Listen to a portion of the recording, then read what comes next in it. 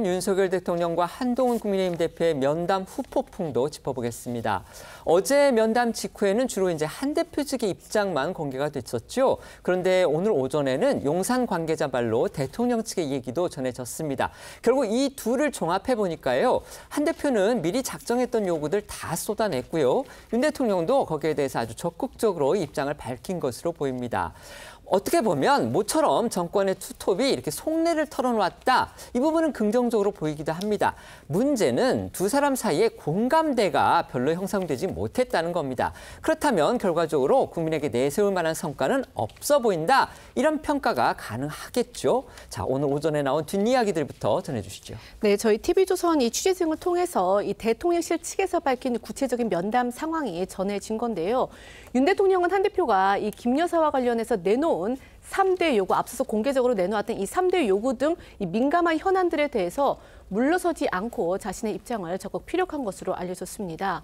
한 대표가 먼저 이른바 이 김건희 라인으로 불리는 대통령실 참모 8명을 일일이 거명을 하면서 쇄신을 요구하자 윤 대통령은 나는 문제 있는 사람은 반드시 정리한다. 한 대표가 잘 알지 않느냐라면서 구체적으로 어떤 참모가 어떤 문제를 이야기했는지 정진선 비서실장에게 전해주면은 필요한 조치를 판단하겠다 이렇게 말한 것으로 알려졌습니다.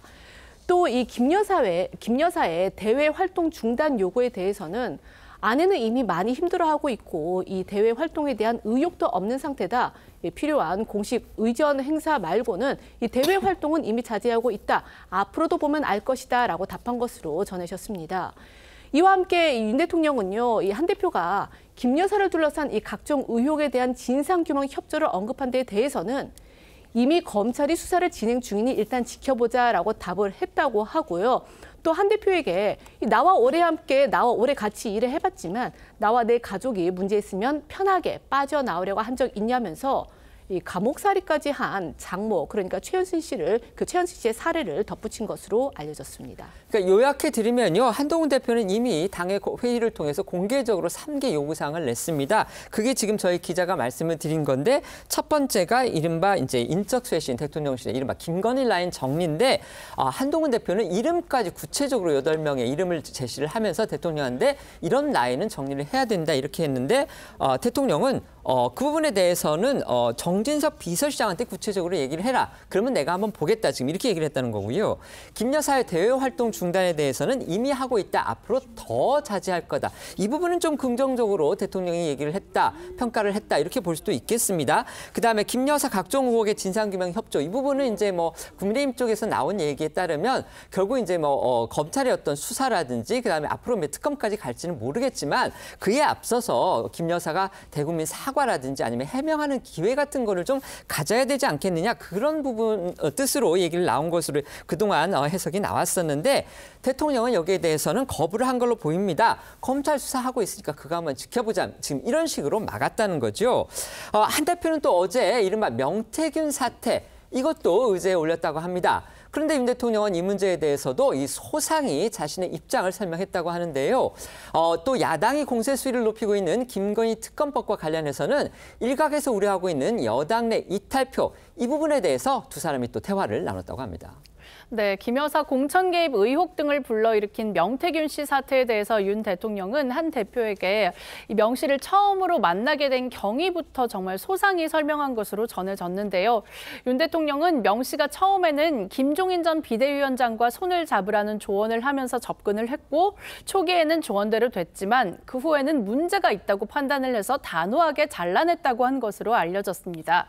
김건희 여사가 명 씨와 연락을 주고받은 것에 대해서 이윤 대통령은 나는 단호하게 잘라냈지만 아내는 그렇지 못한 것 같다. 명시를 달래는 게 이 가족의 역할 아니었겠냐 이렇게 덧붙인 것으로 전해졌습니다.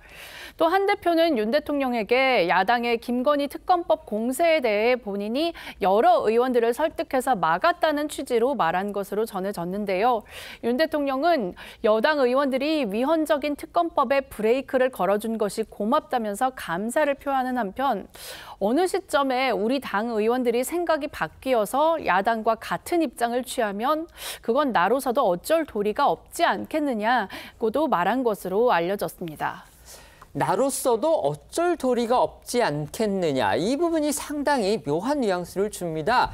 이게 결국 이제 문맥상으로만 본다면 나중에 여당에서 이탈표가 다수 나와서 그러니까 지난번엔 네 표 나왔는데요. 지금 필요한 게 여덟 표입니다. 그 어, 특검법이 통과가 되려면은요. 이탈표가 더 나와서 특검법이 통과되는 상황도 감수할 수밖에 없다. 그러니까 대통령이 약간 뭔가 이렇게 체념하는 듯한 그런 분위기까지도 느껴지는 게 또 사실입니다. 하지만 대통령실의 또 해석은 달랐습니다. 여당이 계속해서 잘 막아달라 이런 취지라고 이 문맥과는 전혀 다른 설명을 내놨습니다. 네, 같은 맥락에서 대통령실에서는 윤 대통령이 이 어처구니 없는 의혹에 대해서는 당에서도 같이 싸워줬으면 좋겠다면서 당부도 했다고 전했고요. 한 대표는 이런 윤 대통령의 소신 답변에 별다른 반론을 제기하지는 않았다고 합니다. 결국 이제 다시 공은 한 대표한테 넘어왔다 이렇게 볼 수 있겠습니다. 어, 면담에 대한 한 대표의 전반적인 평가 또 그것에 근거한 향후 대응 방향 이거 아직까지 정확하게 알 수가 없는 상황입니다. 한대 표는 당초 어제 면담 후에 이제 당에 돌아와서 브리핑을 하겠다 이렇게 어, 공지를 한 것으로 알려졌었는데 물론 나중에는 이제 당 측에서 부인을 했습니다만 브리핑 하, 결국 하지 않았고요. 오늘 오전에 예정했던 일정도 전격 취소했습니다. 앞서도 전해드린 대로 한 대표 오늘 오전 중에는 SNS에 글을 올렸는데 이 일부 의료계 단체들의 여야 의정 협의체 참여 결정 이것과 관련한 내용이 전부였습니다. 네, 당초 한 대표는 오늘 오전에 박수영 의원이 주관하는 연금 개혁 관련 토론회에 참석할 예정이었습니다. 갑작스럽게 이 일정이 취소되면서 정치권에선 어제 윤 대통령과의 면담 결과가 영향을 미친 것이 아니냐는 해석이 나왔습니다. 윤 대통령이 자신의 요구와는 결이 다른 입장을 고수한 것에 대한 불만이나 실망감을 드러냈다는 겁니다. 일각에선 한 대표가 혹시 당무 거부까지 나서는 것이 아닌지 주목하기도 했습니다. 하지만 국민의힘에선 한 대표가 오전 토론회에 참석하게 되면 어제 용산 면담과 관련해 모든 관심이 자신에게 쏠릴 것을 우려해 취소한 것뿐이라는 입장이 나왔습니다. 또 한 대표 잠시 후 잡혀 있는 인천 강화 방문 일정은 예정대로 소화할 것으로 알려졌는데요. 오전에 취소한 토론회와는 달리 강화군수 보궐선거에서 국민의힘 후보가 당선된 것과 관련해 시민들을 만나 감사 인사를 전하는 등의 중요 당무는 소화하겠다는 의지를 드러낸 것으로 보입니다. 이처럼 면담 후 아직까지 한 대표가 공식적으로 모습을 드러내지 않으면서 면담에 대한 한 대표의 입장에 정치권의 관심이 쏠리고 있습니다. 친한계 김종혁 최고위원은 오늘 한 라디오 인터뷰에서 면담 직후 한 대표와 연락을 했었다면서 한 대표의 입장을 대신 전했습니다. 들어보시죠. 네, 어제 혹시 뭐 한동훈 대표하고 연락 좀 해보셨어요 밤에? 물론 뭐 당연히 해봤고요. 예. 네, 그 굉장히 좀 씁쓸해하시더라고요. 지금 김건희 여사 블랙홀 때문에 이런 모든 것들이 다 빨려 들어가서 아무것도 지금 빛을 보고 있지 못하거든요. 이 문제에 대해서 이제 매듭을 지어야겠다. 앞으로 2년 반도 이런 식으로 끌려갈 수는 없다라는 그런 다짐 뭐 이런 것들을 위해서 대통령을 만나 뵌 건데 예. 대통령실의 인식은 뭐 그것과는 좀 어, 상황을 너무 좀 편안 안이하게 보시는 게 아닐까 하는 그런 우려가 좀 있었어요.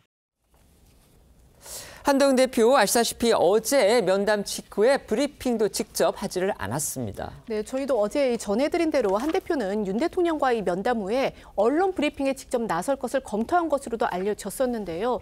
한 대표는 면담이 끝난 후에 이 박정아 당대표 비서실장에게 상황만 설명하고 자리를 떠났습니다. 면담에 배석하지 않은 박 실장이 전원 형식으로 해서 브리핑을 진행했는데요. 구체적인 면담 내용이나 분위기도 사실상 전해지지 못했습니다. 이 과정에서 일부 언론들은요, 윤 대통령이 한 대표에게 유익한 만남이었다면서 뭐 좀 좋게 브리핑 해달라라는 취지로 당부를 했지만 이 한 대표가 사실상 거절한 셈이다 이렇게 보도를 하기도 했는데 오늘 오전 대통령실 측은요, 이 같은 보도는 사실이 아니다라고 바로 잡았습니다. 어제 나온 박정하 실장 브리핑도 들어보시겠습니다. 나빠지고 있는 민심과 여론 상황, 이에 따른 과감한 변화와 쇄신의 필요성, 대통령실 인적 쇄신, 대외 활동 중단, 의혹 사항들 설명 및 해소, 그리고 특별 감찰관 임명의 진행 필요성. 인적 쇄신에 대해서는 공감대가 있었던 건가요? 대통령 말씀에 대해서는 용산에 확인해 보시는 게 맞을 것 같아요. 한 대표의 오늘 오후 일정은 잠시 뒤인 3시부터 잡혀 있습니다. 아마 이때 이제 기자들을 만나게 되겠죠. 그렇기 때문에 윤 대통령과의 면담에 대한 소회도 아마 한 대표 직접 밝힐 가능성이 있기 때문에 그 부분은 좀 더 지켜봐야겠습니다.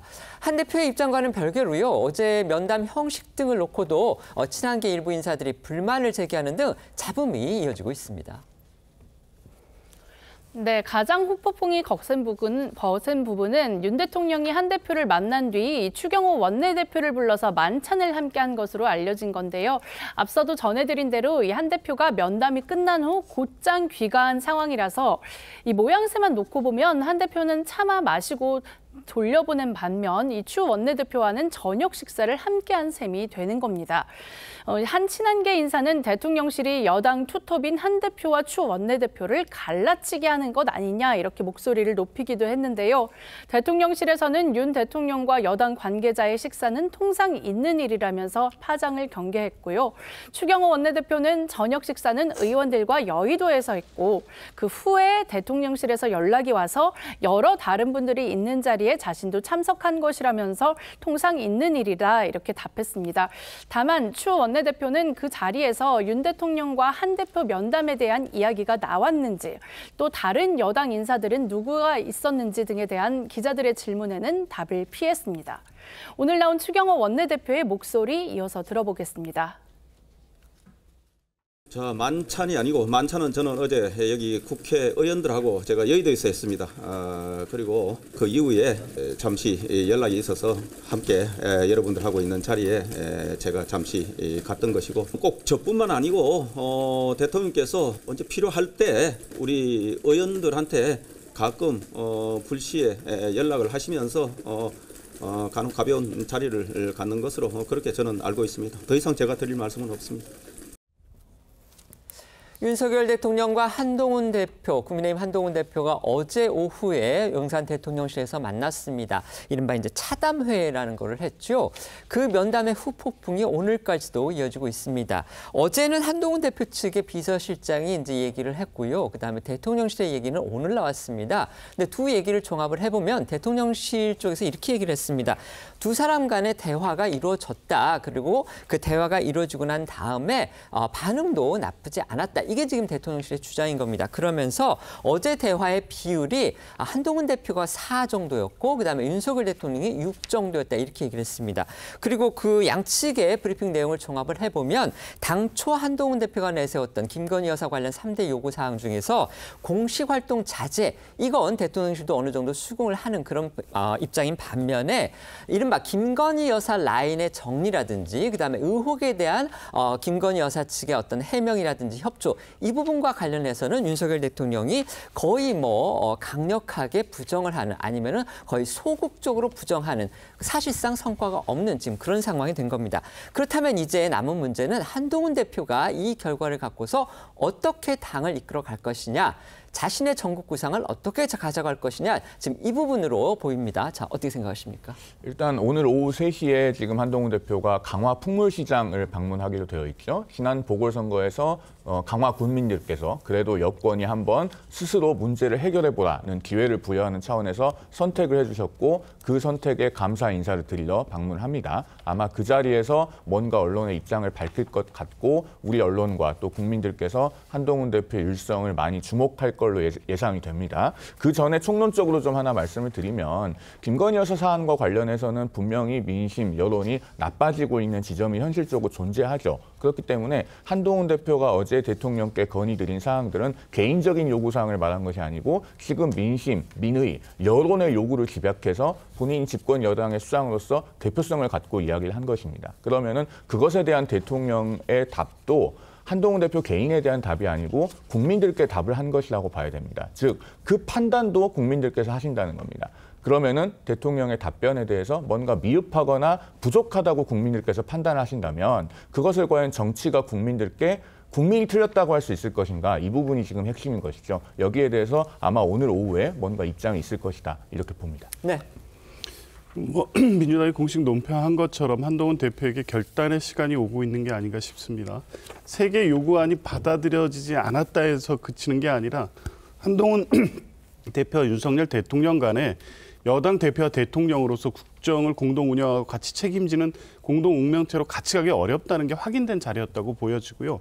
한동훈 대표도 익히 알고는 있었지만 어제 일말의 기대를 갖고 어제 회동에 임하지 않았나 싶은데 결국 아무것도 없고 대통령이 바뀔 생각이 없다는 부분을 확인했기 때문에 결국 그러면 뭐 국민의 눈높이 민심을 보고 가겠다는 입장 정도에서 오늘 정리를 하지 않을까 싶고요. 구체적으로는 이제 남은 것은 김건희 여사 또 최혜병에 대한 특검 법안이죠. 이 부분에 대해서 이재명 대표와의 회동 사실을 어제 대통령과의 면담 4시간 전에 공개했다는 것에 의미가 있다고 봅니다. 결국 대통령이 우리의 요구와 뜻을 받아들여지지 않고 지금의 방식을 고집한다고 하면 민심을 받들어서 야당과 협의할 수밖에 없다는 자락을 깐 게 아니겠습니까? 그러면 결국 11월에 다시 제출되는 특검 법안 또 최혜병 특검 법안이라든가 상설 특검 법안 관련해서 여야가 진전된 논의를 통해서 완전히 다른 국면이 열릴 수도 있다. 이 부분을 한동훈 대표가 고민할 수밖에 없는 상황이 됐다. 이렇게 보여집니다. 네, 아, 지금 조 변호사님 말씀을 해주셨는데 이제 저희도 그런 부분에 관심을 갖는 거죠. 결국 그렇다면